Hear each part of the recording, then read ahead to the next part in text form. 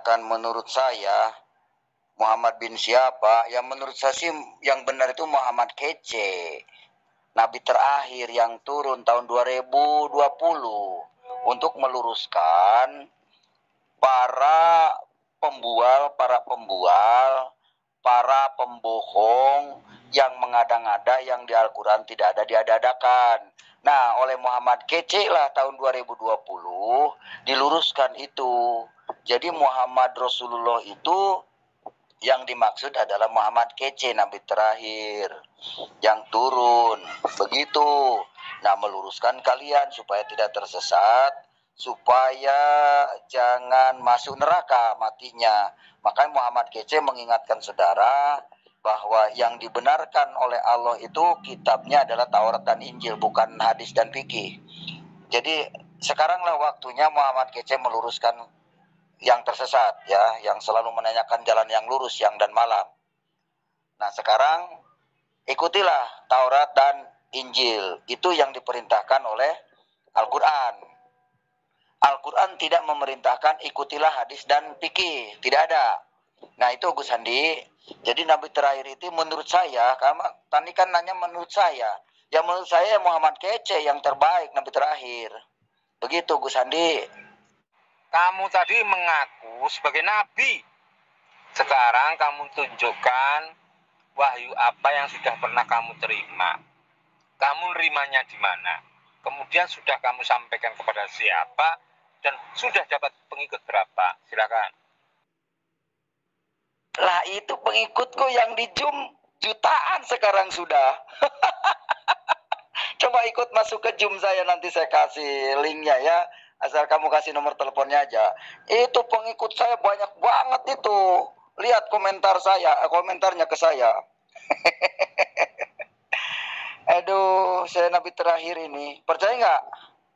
Saksinya siapa? Ya sama. Dengan Muhammad bin Abdullah juga tidak ada saksinya mengaku nabi Aduh, kitabnya apa? Muhammad Kece. Ya, kitabnya kitab suci Taurat dan Injil yang sempurna. Ya Gus, kamu juga harus percaya bahwa Muhammad Kece ini Nabi terakhir tahun 2020. percaya ya. Terus kamu kira ada orang percaya? Kasihan Cece. Tunggu aja ya. Bentar lagi akan muncul di YouTube pengakuan-pengakuanmu sebagai nabi? Uh, nanti kamu juga di aku sahabat nabi Gus, Gus Handi. Nah, sahabat biasanya yang mencatat wah pewahyuan yang turun kepada Muhammad Kece. Haleluya. Haleluya. Kamu dijadikan sahabat Nabi nanti ya. Allahumma sholli ala Muhammad kece. Allahumma salli ala Muhammad kece. Allahumma salli ala Muhammad kece. Ya Rasulullah Muhammad kece. Ya Rasulullah Muhammad kece.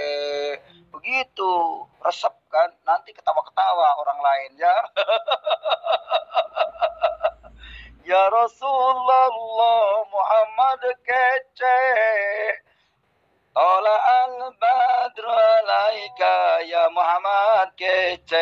kece begitu.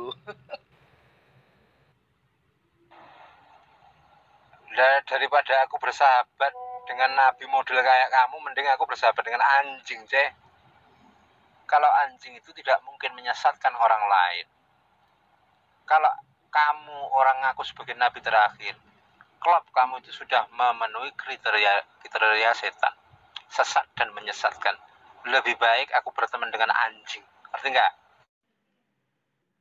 Gus, Gus Andi. Mau jadi sahabat Nabi?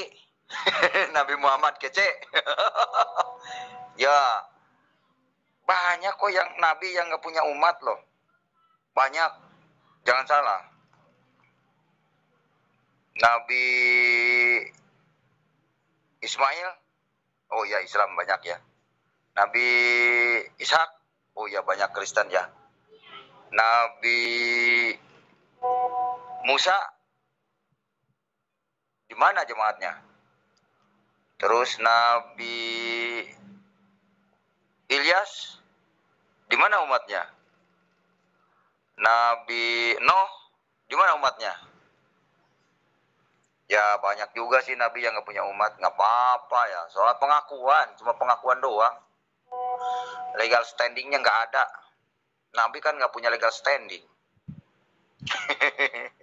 Tiga, tidak punya legalitas, legalitas formal gitu maksudnya.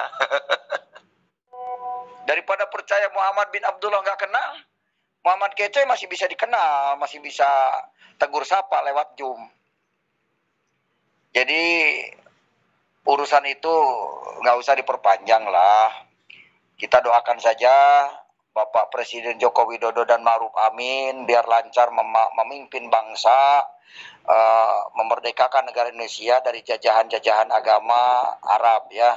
Oh, pengikutmu udah jutaan. Aku tanya, satu saja, tolong kasih tahu ke aku, kamu menerima wahyu dalam bahasa apa, kemudian contoh yang wahyu yang sudah kamu terima itu seperti apa redaksinya. Silahkan. Aku ikuti kegilaanmu. Ayo. Kalau begitu, Gus, kamu lama-lama dibaptis loh.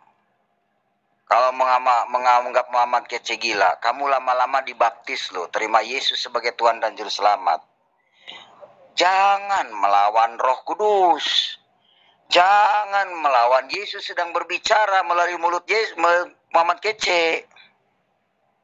Kalau kamu melawan, nanti kamu di jamaah Tuhan Yesus yuk baru tahu lo minta dibaptis lo.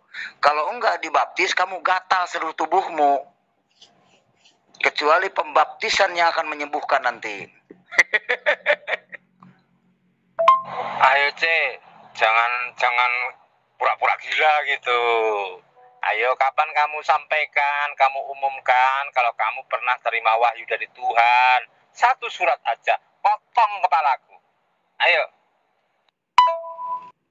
Wahyu yang telah saya terima dari Tuhan, segeralah bertobat sebelum corona menjemput kalian. Ini pewahyuan yang diterima oleh Muhammad Kece. Segeralah terima Yesus sebagai Tuhan dan Juru Selamat. Karena hanya satulah Juru Selamat, Yesus Kristus. Yohanes 14 ayat 6 Kata Yesus, akulah jalan, kebenaran, dan hidup.